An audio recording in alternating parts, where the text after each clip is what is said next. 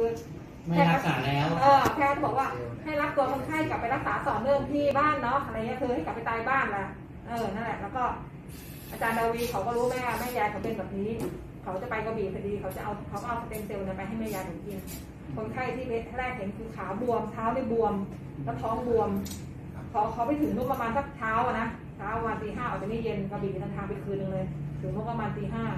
เขาเข้าบ้านเขาก็เอาแกะซองสเต็มเซลล์ใส่ปากแม่ยายเขาเลย แล้วตอนเย็นกินอีกซองหนึ่ง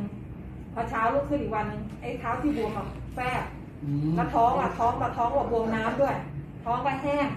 แล้วคนไข้คือนอนอะ อยู่โรงพยาบาลศิริราชเนี่ยคือนอนนะแต่ขี้แต่เยี่ยวลุกเดินไม่ได้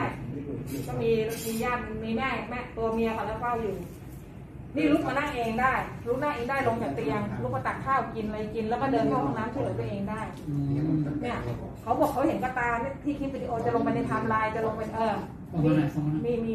ก็ก็เลยว่ามันเขาบอกเขาประทับใจมากเลยประทับใจมากที่ว่ามันมหัศจรรย์จากที่คนจะตายอะช่วยเหลือตัวเองไม่ได้เลยไม่ได้หนูหนูหนูอยากได้เคสแบบเนี้ยเนี่ยเนี่ยเนี่ยเนี่ยพี่เล็กได้ของอาจารย์ดาวิววันนี้พี่ได้เข้ามายืนยันตัวตนพอดีมีนักร้องมาทำเพลงอีกแล้วที่เอาไปซองไปกล่องเลยที่วันนั้นมาอ่าที่วันนั้นมาอาจารย์ดาวีเออที่ฟ้าบอกว่า จะไม่ทำเขาไปละ จะเป็นนักร้องให้อาจารย์ดาวีแต่งเพลงให้อ๋อ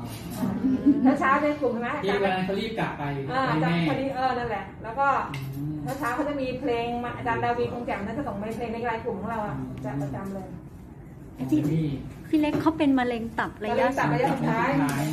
อ๋อคือมะเร็งตับระยะสุดท้าย หมอไล่กลับบ้านหมอบอกว่าให้ไปรักษาต่อเนื่อง ก็คือ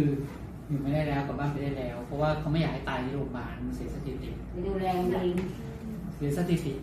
อันนี้นั่งกินข้าวจะส่งปัจจุบันนี้เขาก็ยังอยู่ใช่ไหมอพี่ยู่เล็กแข็งแรงลูกก็เนี่ยก็อาจารย์ดาวีก็ส่งไปพี่เล็กจะส่งไปทั้งแบบ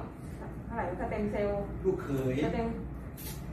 เออลูกเขยอาจารย์ดาวีลูกเขยที่ส่งไปมาสเต็มเซลล์สามสี่กล่องแล้วพูดแล้วตอนนี้กินไปกี่กล่องแล้วคะคึกคักตอนนี้เข้าเข้ากล่องที่สามแล้ว